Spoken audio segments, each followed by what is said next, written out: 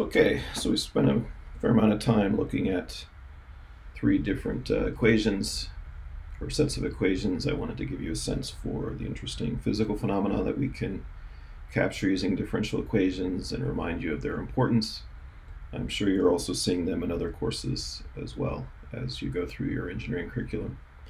Today we're going to talk about some general considerations, specifically the numerical solution procedure. It's a framework that'll help us kind of categorize and give some order to the process that we go through when we get numerical solutions of real engineering problems and talk about the two primary, most popular numerical solution approaches that you'll face as engineers.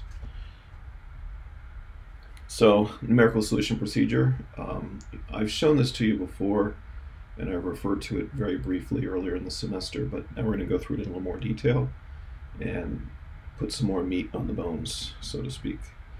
So we always start with a real physical system.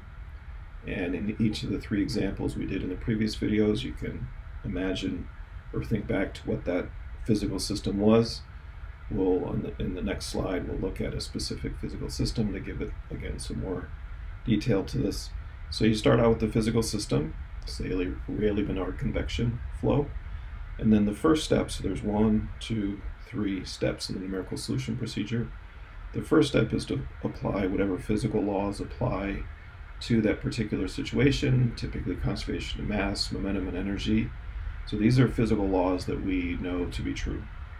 And then we may also incorporate models. Models imply assumptions. Models imply some level of approximation. So we'll make clear what the laws are that we're enforcing, as well as what models we are taking into account. And so that takes our physical system, the actual real physical system, and applying these laws, that gives us our mathematical model or the governing equations of that system. So this is what you're doing in many of your other classes. So if you think of MMAE 202, for example, solid mechanics, fluid mechanics 313, heat transfer 323. So that's what you're doing in those courses. You're looking at a particular physical system, applying the appropriate physical laws and models to get the governing mathematical equations, which are usually ordinary differential equations or partial differential equations in engineering settings. And then in those classes, when possible, will typically get the analytical solutions in the cases that they exist. They're usually quite limited. Uh, if you go back through your notes in any one of these classes after you've completed them, you'll find that you've looked at or addressed many, many different situations, only a few of which you're actually getting analytical closed form solutions for them. So that's where 350 comes in. So now we can continue through the numerical solution procedure to get a solution in situations when we cannot use analytical methods. So the starting point for us is going to be this mathematical model, uh, the governing equations. Then the second step will be to discretize that. That's what we'll discuss in today's video. And dis in discretizing the problem, it goes from a continuous system of equations, differential equations, to a system of algebraic equations. Sometimes they're ODEs, system of ODEs, but more often than not, it's a system of algebraic equations that we're getting, which we can then solve using the matrix methods that we've developed back in This was chapter 2. And then from that solution, then we get the numerical solution, approximate numerical solution for the original system. And I find this numerical solution procedure to be very helpful when we get into the details of these various techniques and methods, and we're talking about Taylor series approximations, and we're talking about the discretization methods and so on, I find it very helpful to go back and kind of think about and make sure we're clear on where we are in this numerical solution procedure. So if you ever feel like you're a little bit lost, not quite sure what we're doing or why we're doing it, just ask yourself the question, is this step one, is this step two, or is this step three of the numerical solution procedure? And it's usually pretty easy to figure that out. and then you'll see where we are in this overall sequence. It's especially helpful since you're usually doing different steps in different classes. So again, step one is what you're doing in many of your other engineering courses, and steps two and three are what we're focusing on in this class. So you kind of have to piece it all together to get the full picture. All right, so let's look at a very simple example. And that's a forced spring mass system. We like spring mass systems because they are easy to imagine, they're intuitive, they make sense in terms of their behavior most of the time. And um, we can go to Home Depot and build these easily, test them, and it just gives us a, and the math is, is pretty straightforward. So we have a spring, a linear spring with spring constant K, with a mass hanging, mass M hanging down, which is being forced at a forcing amplitude F, and cosine omega t, omega is the frequency of the forcing. So this is kind of similar to that forced Duffing equation that we looked at. And then we're going to measure u as a function of t up like this. So u as a function of t, that's our dependent variable, u is, t is the independent variable, and as this wibble wobbles up and down, the u of t will give us that position of the mass. If you know the position of the mass, you know the force in the spring and, and everything else that you would like to know. We're going to call the force in the spring F sub s, and we define the zero for u such that F sub s is zero when u is zero. When the position is at its neutral position. Okay, so we're just going to walk through those three steps and see how, how each of them come in. All right, so step one, we're going to apply the physical laws and models. First, ask yourself what physical laws are relevant, what physical laws govern a system of this type. And in this case, it's a dynamics problem, so it's just conservation of momentum in the form of Newton's second law. Now, we can have an argument about whether Newton's second law should really be called a law or a model. Uh, I would argue, and no one would disagree with this, that it, it's really more accurately deemed a model because there are assumptions. So conservation of momentum is a physical principle. It has to be satisfied. It is a physical law. But in the form of Newton's second law, as we call it, it's really a model. We're not dealing with relativity effects. We're not dealing with quantum effects. There are some assumptions that go into Newton's second law. So it really is a, a model in the strict sense of the word. But everyone calls it a law. So we'll apply Newton's second law as the physical law that governs such a system. Then our models, assumptions, and approximations. This is probably the most important part of doing these problems. As an engineer, our job is to take complicated problems and then step one, convert them into something that's mathematically tractable that we could actually solve whether exactly or numerically in, our case. So this is the part where you, I always talk about two different speeds when you're doing problems. This is, this is the part where you slow down. You go into that slower speed and you really think through these assumptions and approximations and models and make sure they make sense for your situation. And in the end, you have to think ahead because the mathematical model that you get will depend on the assumptions that you make and the mathematical model that you end up with is then what you have to solve numerically. And so that's going to affect every later stage in the numerical solution procedure. But as we would normally do in a, in a dynamics class, we're going to neglect the mass of the spring. We'll say that the mass of the mass is big enough such that the mass of the spring can be neglected. We'll assume that the spring is linear elastic. So that just means that if you were to plot the elongation u, and force we'll plot minus f sub s in, in the spring, is just a straight line. So minus fs is k times u. So a linear elastic spring, linear behavior between the position or the elongation and the force in the spring, and the spring constant is the proportionality constant. So that this is what you see down here. That's the equation you see there when we get to the derivation. So linear elastic spring. Finally, we're going to assume that the drag on the mass is going to follow what's called Stokes drags, the Stokes drag law, which applies generally pretty well for low speed movement of an object. So we are going to take into account the drag on the mass. So you can think of it as drag through the air, or maybe this is in a in water, and so there's some drag uh, because of that. Okay, so again, you, you know, as you go through these, kind of think about how good or bad these assumptions are. There are times where, as engineers, we make assumptions that are necessary in order to solve a problem, but they're horrible assumptions.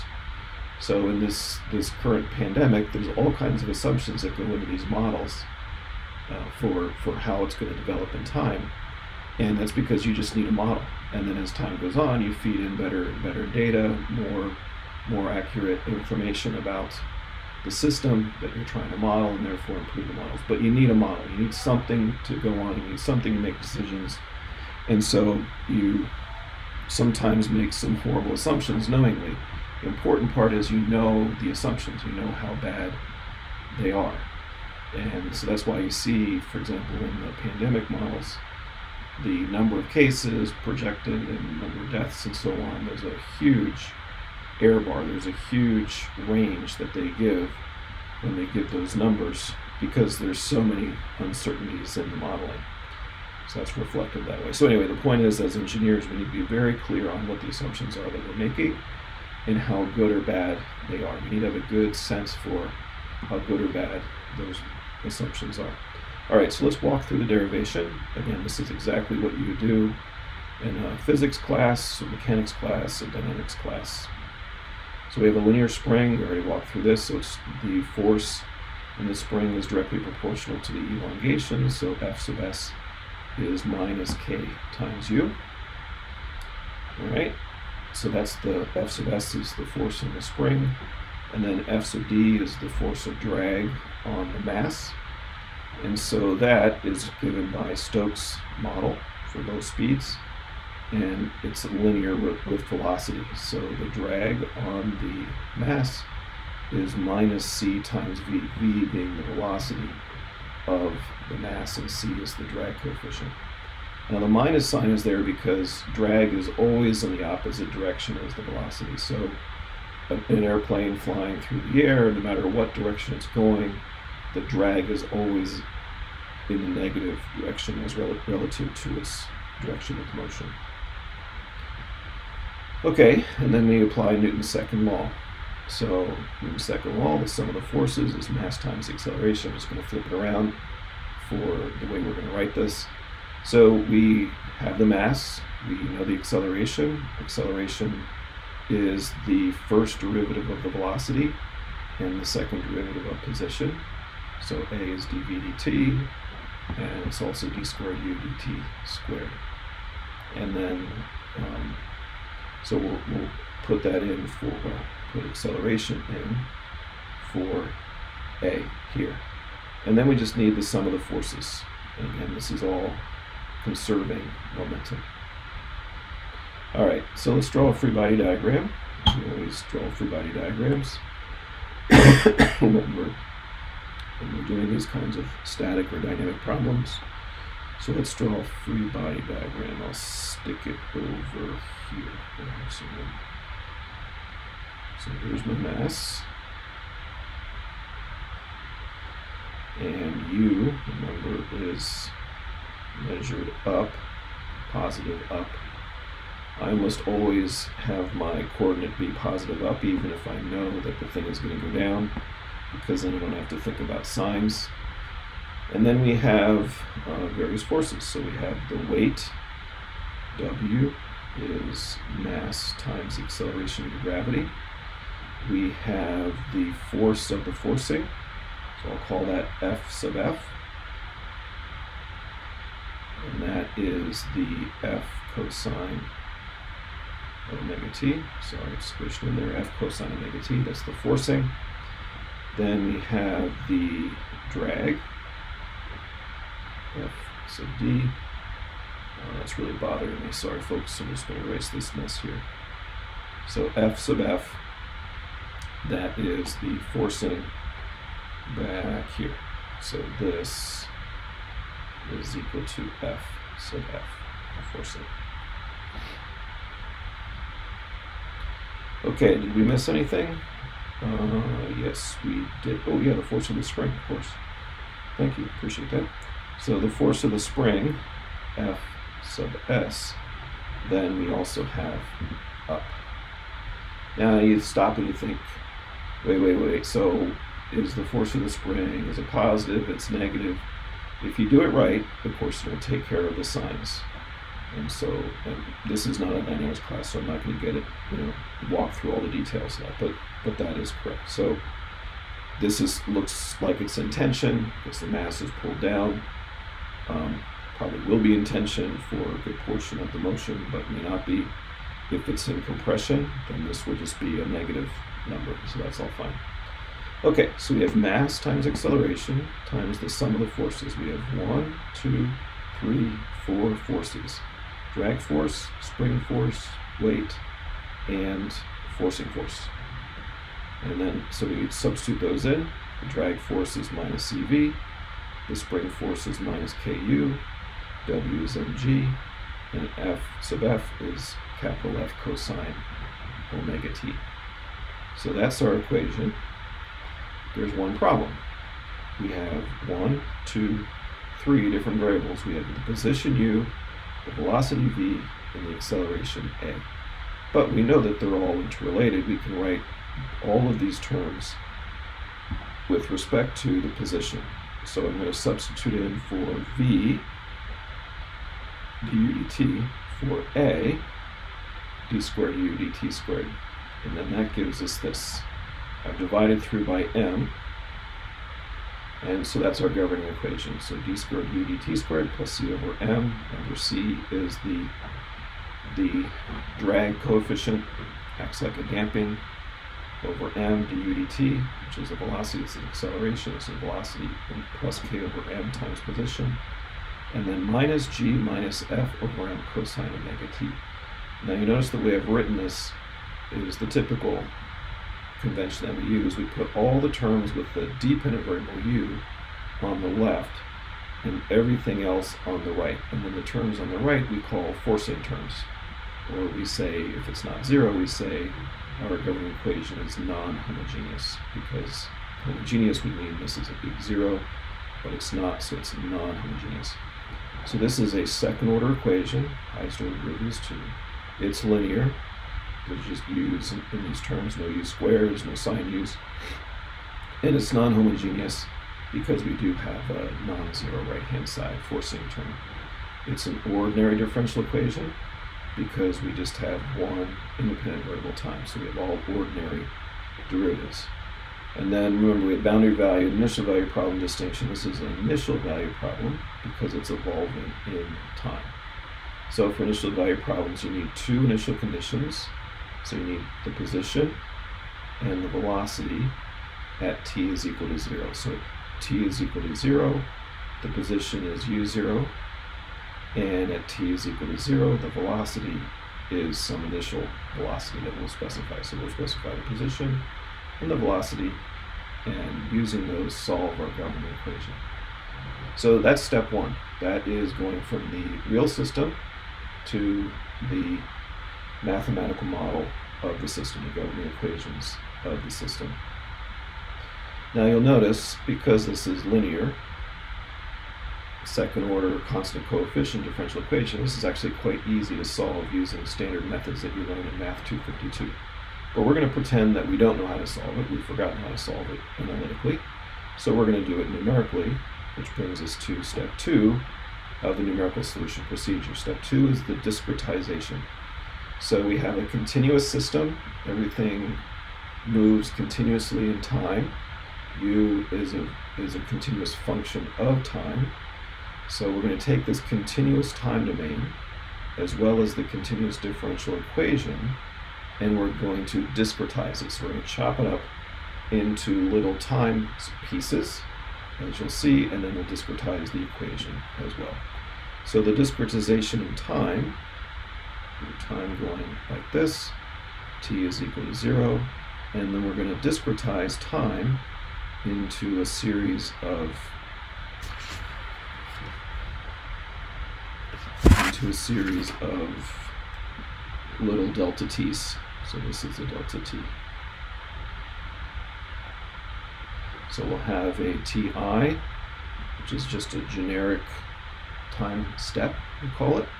And then the next time step is t sub i plus 1,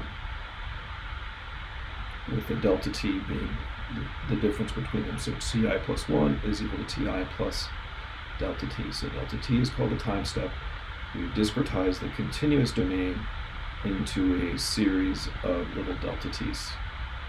So we discretize the domain, and then we also discretize the equations themselves. So we take our continuous differential equation, which has these first order and second order derivatives in it, and we want to discretize it onto this discrete domain. So we'll go through the formal procedure for doing that in the next video. It's based on Taylor series approximations, but let's just walk through it in a more intuitive way for now. So this is using the finite difference method, which we'll talk about more in the next video. You can also use finite element methods, and there's other methods as well, but we're going to focus here on the finite difference method. So the idea is, is very simple. We're going to take a derivative, which we know what it is, we know what the derivative is. Here's the math definition that we had in calculus class. So du dt is the limit as delta t goes to 0 of u at t plus delta t minus u at t over delta t.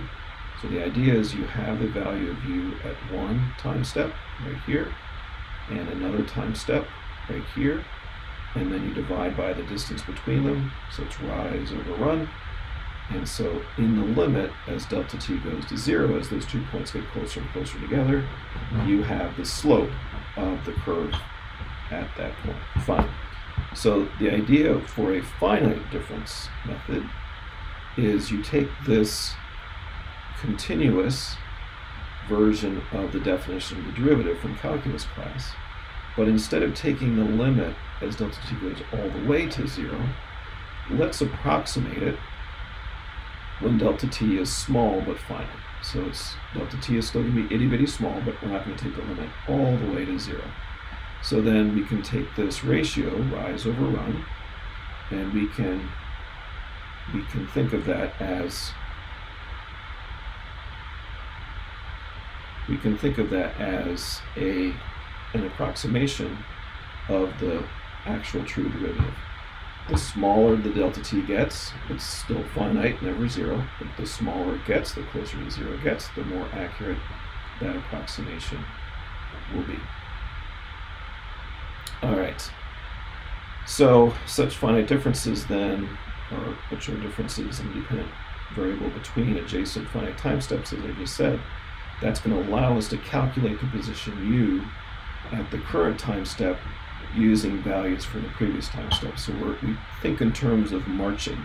So we start at t is equal to 0. We know the initial conditions. You get the solution at the next time step, the next time step, the next time step, in sequence one after the other. And that's the procedure that you'll see when you solve these initial value problems. Generally what this amounts to, in the end, after you discretize the equation on the domain, discretized domain, what you get is a system of algebraic equations. Remember, this is step two of the numerical solution procedure. So we're taking the continuous differential equations, we are approximating them, discretizing them, to form a system of algebraic equations for the u's at each time step. So we're no longer solving for u at every time, we're solving for the u's at the specific time steps in our discretization. So that brings us to step three. So now we have a system of linear algebraic equations to solve. That's what we discussed in chapter two. So we don't need to discuss that for now. Uh, so we have a big matrix problem to solve in general. We solve it using methods from chapter 2, and we get the numerical solution again, u at the specified time steps. So here's an example, g 9.81, mass of 1, k of 1, c of 0.01, f of 1, omega of 0.2, and I put in the position, initial position is 1, you can see that here, initial velocity is zero. So it wibble wobbles back and forth as a typical oscillator would, and you can see how that evolves in time. This is from 0 to 100.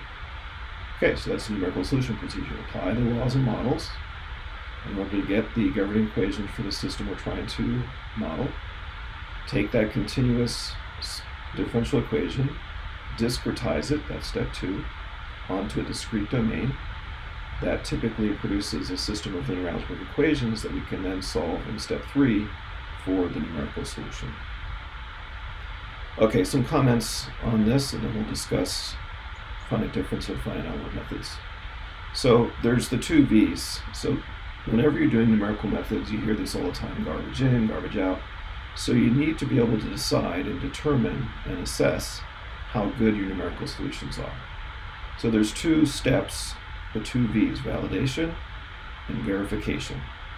And this encompasses all three steps of the numerical solution procedure. This is why I find that so helpful. So basically what's happening is every step in the numerical solution procedure is introducing a new set, a new type of errors. So there are modeling errors. There are model, there's errors in the mathematical model because of the assumptions and approximations that you've made. Then you discretize it in step two. That introduces additional set of errors because of that discretization, because your delta t's are finite, they're not well, they're not zero. And then you have the numerical errors from getting the solution of the system of algebraic equations, depending on how you do that. So every stage in the numerical solution procedure, one, two, three, produces its own set of errors. So the validation and the verification are addressing the magnitudes of each of those errors in the following way. So validation, they're alphabetical, so A before E, that's how I remember it.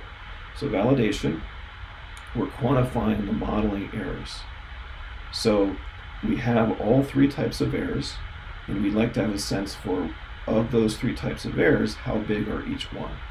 So we separate out the modeling errors in the validation process. So we want to determine those errors in our computational model. So again, this is step one, so addressing the error introduced by step one. So the questions that we're asking are, am I solving the correct equations? Am I capturing the physics correctly?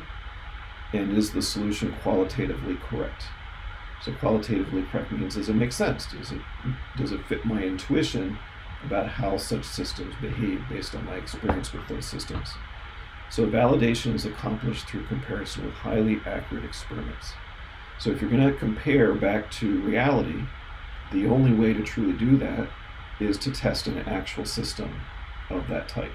So you actually have to go to Home Depot, buy the parts, build it in the lab, and do the tests. So that you can compare your solutions against that to quantify step one. So that's the validation step. Verification addresses steps two and three together. So this is the quantification of the discretization and numerical convergence errors in the computational model and the corresponding solution that you get. So again, this is step one, this is steps two and three. So now the questions you're asking are, am I solving the equations correctly? So I, I've convinced myself that I'm solving the right equations. Now am I solving them correctly?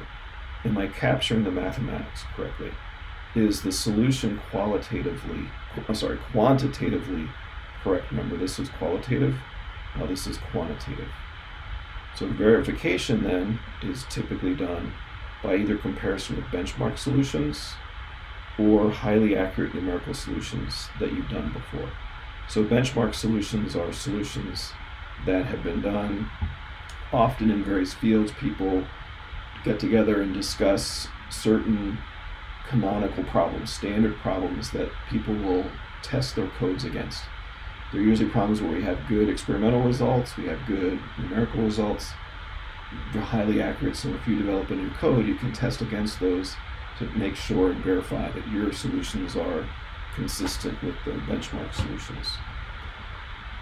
So everything we do in this class, and of course many others as well, is addressing one, two, or three one aspect of the numerical solution procedure. So again, in this class, we're looking primary, primarily at the verification step, steps two and three, and in your other classes, you're looking at step one, the validation step. Okay, there's various numerical solution approaches. Uh, we're going to discuss two of the most popular. So this is step two of the numerical solution procedure, how you do the discretization. So there's finite difference methods we've introduced briefly, and then finite element methods as well. These are by far the two most popular techniques used in engineering and science. They're not the only ones, but they're most the most generally applicable and widely used. Our focus is going to be on finite difference methods, and this is because they're used all over the place, they're relatively straightforward, and they're just based on Taylor series, which I'll review in the next video. If you want to see more background on finite element methods, we do have a class, which is an elective class, it's not a required class, MMAE 451, but I'd strongly encourage you to take that later in your academic career to learn finite element methods. It's very powerful and widely used. So I'm just going to take give you kind of a one slide summary of each to give you a sense for the pros and cons. They're highly complementary in many ways. So first, finite difference method. So the basic approach is we discretize the governing ordinary or partial differential equation in differential form. So that's exactly what we just did. We had the differential form of the governing equation for a wibbly wobbly spring mass system. As you'll see in the next video, we're going to use Taylor series-based finite difference approximations at each grid point and that's going to be the basis for the discretization that we, we apply, that we use. It produces a linear system of algebraic equations at each grid point. It's a local approximation method. You have uh, an approximation at a point, so for the solution near a point, based on these discrete points. Very popular in research because some of the advantages that I'm going to highlight next It's relatively straightforward to understand and implement. Again, it's just based on, on the standard Taylor series. And we're going to be using what are called structured grids. Structured grids are just what they sound like, highly structured, highly ordered grids or meshes, whatever you want to call it. It utilizes the familiar differential form of the governing equation, so it's usually the form that you first derive in these other classes. Typically, when you're doing a conservation of mass, momentum, and energy, you apply them, you apply them to little differential elements of the fluid or the solid, and then from that you get these differential equations, and it's the differential equations that are the starting point for our finite difference method. So it's a very natural continuation of the, the approach that we use in, in other settings. Uh, we can apply this to a wide variety of problems. We can get into very complex physics, which is why it's very popular in research. So in my field of CFD, computational fluid dynamics, I have my basic CFD codes. I can relatively easily pull in other physics. So if I want to add in heat transfer or combustion or acoustics, sound, so I can add in that additional physics without too much trouble into my finite difference model. It's typically produced as very sparse and highly structured matrices. So in step three, the system of algebraic equations that we need to solve is usually very large, but it's sparse, meaning it has lots of zeros in it, and it's highly structured. So, for example, tridiagonal matrices, we, we talked about those earlier in the semester and the advantages of that.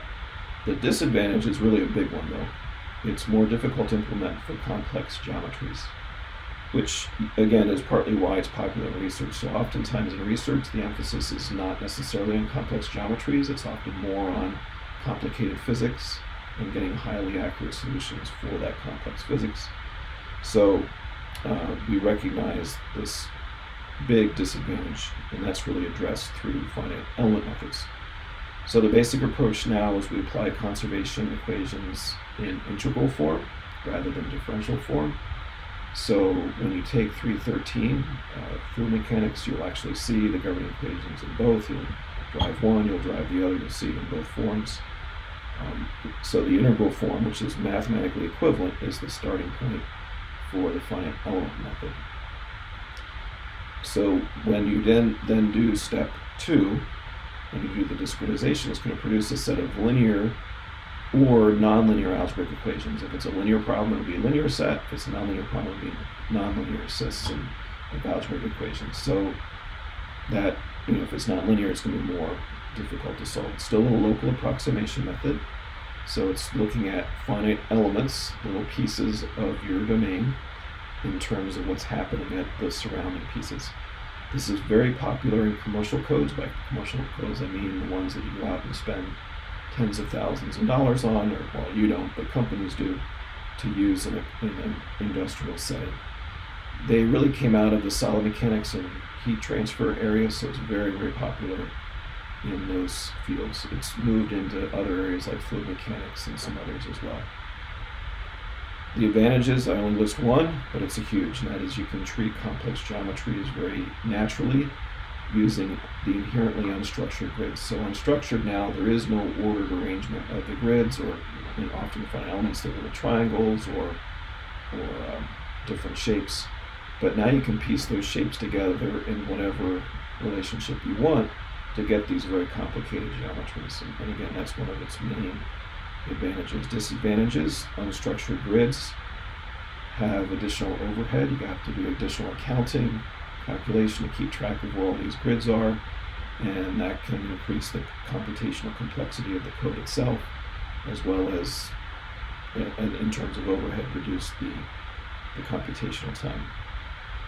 Solution methods are comparatively inefficient because the matrices that you get are typically dense and unstructured. So dense is the opposite of sparse, and unstructured, of course, is the opposite of structured. So you have smaller matrices typically because you can't solve them as big because the matrices are dense and they're unstructured. They don't have, say, a tridiagonal structure to them. Um, so that's typically what you're going to have to solve then in step three, and you have to take that into account in the, the discretization step. Okay, next time we'll look at the formal basis for finite differences based on Taylor series approximations.